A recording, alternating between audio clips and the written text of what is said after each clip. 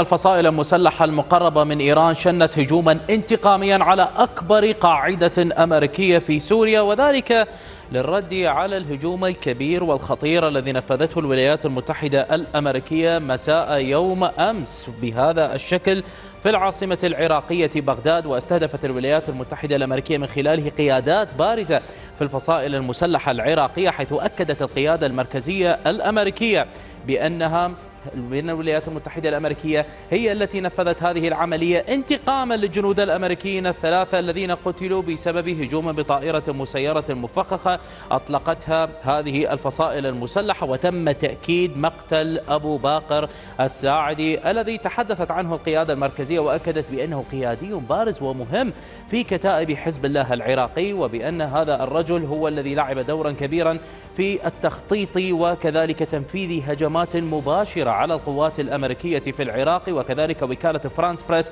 أكدت بأنه مسؤول آه، العمليات أو مسؤول حقيقة الملف العسكري في سوريا في الكتائب وأيضا في نفس الوقت بأنه هو الذي يدير القوة الجوية الخاصة بالكتائب والتي تتواجد أيضا فيها القدرات الصاروخية وغيرها. بالتالي هذا الرجل ليس بالرجل العادي بالإضافة إلى أن التقارير تحدثت أن هنالك قياديا آخر معه وهو أركان العلياوي والحديث من هذه التقارير بأنه مسؤول العمليات والاستخبارات في كتائب حزب الله بالإضافة إلى تقارير متضاربة عن قيادي آخر في الكتائب. قد قتل لم يتم تأكيد هذه المسألة.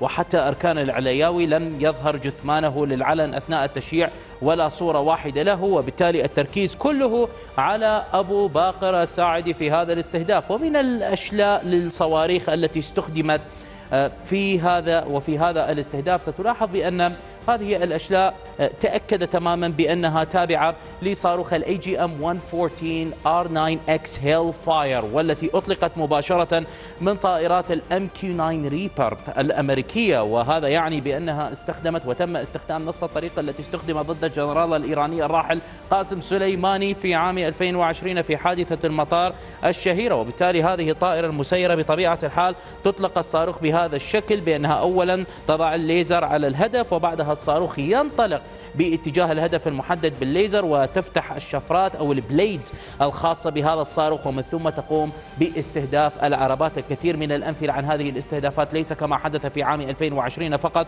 وإنما كذلك ما حدثت في استهدافات عدة أيضا في الداخل السوري ضد تنظيم داعش الإرهابي. وهذا الصاروخ يطلقون عليه نينجا بليد ميسل. بمعنى آخر بأنه عندما يقوم باستهداف هدفه فإنه يحاول إحداث أقل ضرر ممكن ممكن بالمنطقة المحيطة بهذا الهدف. وهذا هو الأمر الذي كان واضحا من طبيعة الاستهداف الذي جرى. لاحظ المحال التي أو المحلات الموجودة بجانب هذا الهدف. ستلاحظ بأنها آه، لم يحدث هنالك أي ضرر على هذه المحال ولا أثر واحد حتى تجاه ما جرى هنا. وكذلك تلاحظ بأن المحلات مغلقة بشكل عام وبالتالي ليس هنالك أي مدنيين ولا أضرار ولا حتى بأي مدني واحد أو أي عربة موجودة قريبة من هذه النقطة. وأيضا لا تلاحظ أي عربات مدنية كانت موجودة بجانب هذه السيارة. بالتالي الضربة كانت دقيقة ومدروسة للغاية ودعونا نحدد موقع هذه المنطقة بالضبط وكيف جرت العملية. نلاحظ بأننا أمام لوحة للإعلانات كبيرة ستكون مفيدة. عندما نلقي نظرة على القمر الصناعي وأيضا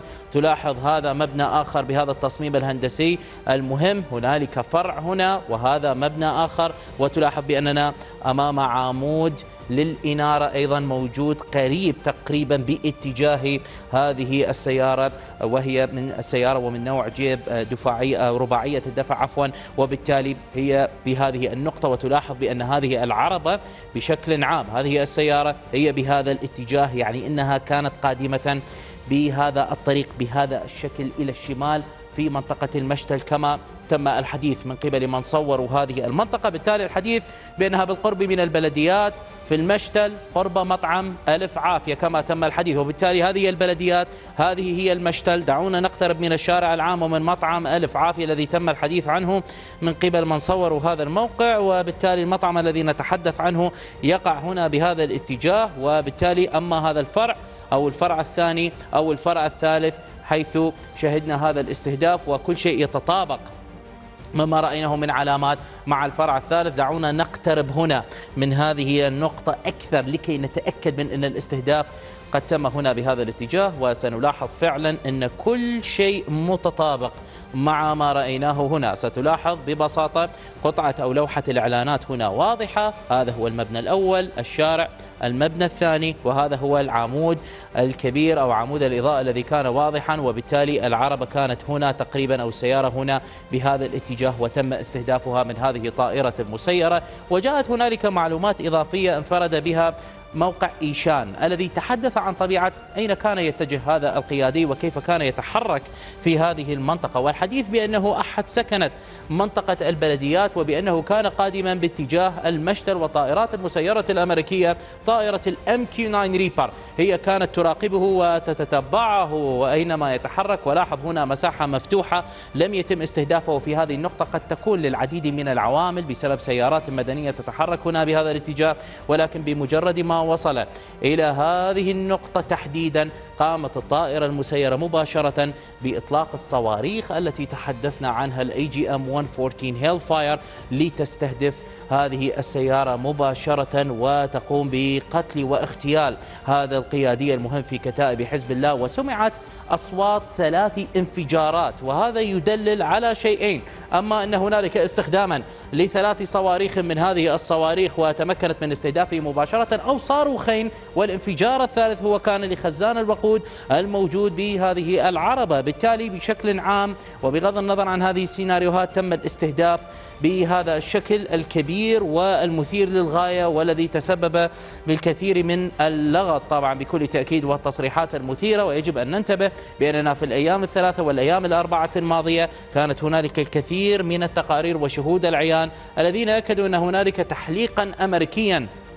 مكثفا بالطائرات المسيرة في شرق بغداد بعد الضربات الأمريكية التي شهدناها على عدة أهداف للفصائل المسلحة في العراق وكذلك في داخل سوريا وبالتالي كان هنالك تحليقا مستمرا ويبدو بأنهم كانوا يقومون بمراقبته بشكل مستمر حتى تمكنوا من ضربه. وهذه طبعا توضح بأن وكالة المخابرات المركزية الأمريكية السي آي اي تعلم الكثير. هي مخترقة لهذه الفصائل بشكل قد لا تتصوره هذه الفصائل بنفسها وبالتالي قاموا بهذا الاستهداف بهذا الشكل. طبعا بعد الاستهداف مباشرة جاءت الفصائل المسلحة لتتحدث بأنها ستنتقم. وفعلا كان هنالك إغلاقا للمنطقة الخضراء في العاصمة العراقية بغداد خوفا من البدء بالهجمات من هذه الفصائل. وجاء الهجوم سريعا كما نتحدث اليوم مباشرة على أكبر قاعدة أمريكية في سوريا وهي قاعدة حقل العمر النفطي. كما أكدت تفاصيل هذا الهجوم والمرصد السوري لحقوق الإنسان North Press Agency وكذلك مراسل الشرقية كلهم أكدوا بأن هنالك سربا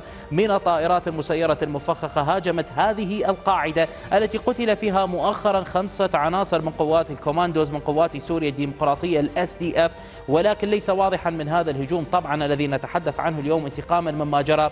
ما إذا حقق شيئا استهدف أحدا جرح أحدا أو قتل أحدا الأمور توقفت عند هذا الحد. ولكن كان هنالك ردا سريعا. وهذا يوضح أن هذه الفصائل لن تغير سلوكها ولن تخفف التصعيد أو لن تتعرض للردع الذي تبحث عنه الولايات المتحدة الأمريكية. وهذا الأمر هو بالضبط الذي تحدث عنه الخبراء الأمريكيين. مثل على سبيل المثال جيسون براتسكي أحد أهم الخبراء في الملف الإيراني وفي ملف الشرق الأوسط والفصائل المسلحة. وضع عددا من الملاحظات المثيرة على موقع أكس وهو قال بأن الإدارة الأمريكية تحاول تفادي استهداف أي إيراني رغم أنها تقول بأن إيران هي تدعم هذه الفصائل وبطائراتها المسيرة والتكنولوجيا في الطائرات المسيرة الإيرانية. استخدمت ضد القوات الأمريكية وغيرها إلا أن الإدارة تحاول تفادي ضرب الإيرانيين وأن تستمر باستهداف الفصائل المسلحة إن كانت في العراق وإن كانت كذلك في سوريا. وهذا هو الذي فعلوه وهو تحدث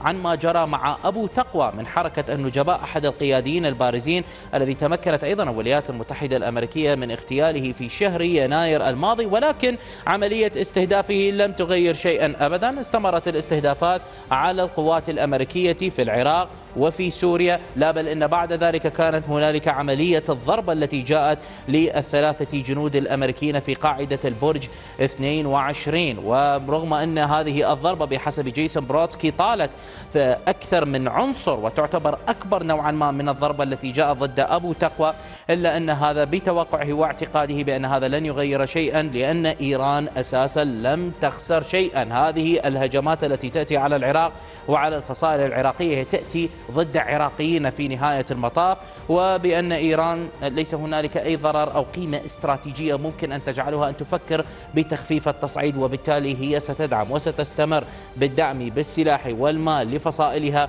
للضغط على القوات الأمريكية. بشكل عام وهو قال بأن هذا الأمر سيذهب أو سيؤدي إلى تصدع العلاقة بين الحكومة العراقية وبين الولايات المتحدة الأمريكية وخاصة أن هنالك نقاشات حول وضعية ووضع المستشارين ومستشاري التحالف الدولي الموجودين في العراق لأن هنالك دعوات لإخراج مستشاري التحالف الدولي من العراق وفعلا بدأت تتصدع الأمور الآن وبدأت البيانات العراقية الرسمية توضح بأن الأمور آه، قد تكون ذاهبة لإخراج مستشاري التحالف الدولي مثل ما تحدث الناطق باسم القائد العام للقوات المسلحة اللواء يحيى رسول الذي كان وقد تحدث ببساطة أن هذا المسار يدفع الحكومة العراقية أكثر من أي وقت مضى إلى إنهاء مهمة هذا التحالف الذي تحول إلى عامل عدم استقرار للعراق. نفس النص صدر من مكتب رئيس الوزراء العراقي أيضا ويوضح بشكل واضح أن الأمور لن تكون سهلة أبدا والكل يترقب.